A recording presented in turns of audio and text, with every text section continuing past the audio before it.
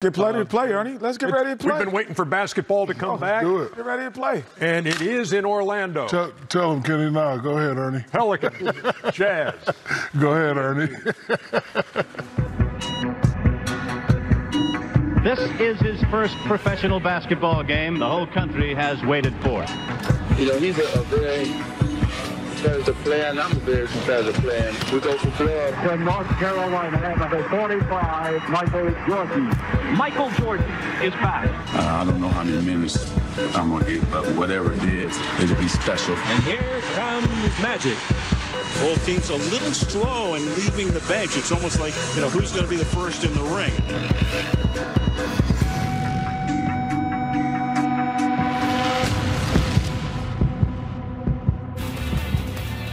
The wait is over. All eyes are on Orlando, Florida for this historic NBA restart. 141 days since the last regular season game. Tonight, a season unlike any other resumes. The NBA on TNT is presented by State Farm. We tip things off with the Utah Jazz and the New Orleans Pelicans from the HP Fieldhouse.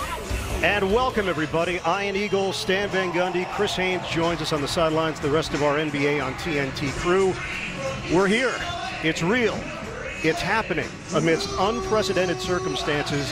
The NBA produced an ambitious plan. And Stan, this is the first of 88 seeding games, the eventual goal to crown an NBA champion here in Orlando. But what the NBA is doing here is incredible. I mean, in the middle of a global pandemic, they created an atmosphere where you could bring in 22 teams, keep everybody safe, and give us a chance to play and watch high level NBA basketball. I've been waiting to say this. Let's check out the starting lineups. Why don't we? Starting lineups presented by Kia for the Utah Jazz. O'Neale, Ingles, Gobert, Mitchell, and Conley. For New Orleans, Ingram, yes, Zion Williamson is starting. He is in the lineup for Alvin Gentry's squad. Favors, Holiday, and Ball, the rest of the starting five.